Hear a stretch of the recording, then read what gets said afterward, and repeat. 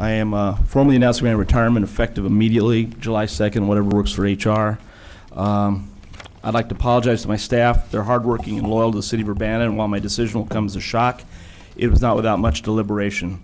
But if I quietly stood by and acted water cooler brave, it would show that I condone this behavior, and I do not. I'll not hunker down and look over my shoulder every day in the hopes that somehow I get missed and I'm able to survival shuffle to retirement as many others have.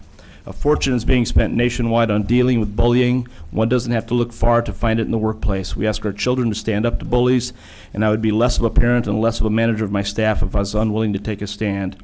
If by my standing up and taking the professional financial consequences of my beliefs, it might foster change in this toxic environment, then it was worth it. If to foster change, someone must be first, then I will be first. This is neither a gripe session nor a soapbox for discussion. The city of Urbana is an outstanding city, but if our largest investment and greatest asset, our staff, is consistently rendered impotent through intimidation, a lack of an organizational structure that embraces strong group decisions, that seeks consensus without fear of repercussion, and lacks a strong moral ethic to provide protection from unfair and unjust practices, then the city will continue to stifle efficiency, hemorrhage quality staff, and fail to hire the best and the brightest. While I've always believed in being a team player and you work from within to create change, without a team, there's nowhere to work. While your vote may change this outcome, it will not change the culture, and a culture change is what is necessary for the city to reach its potential. Thank you.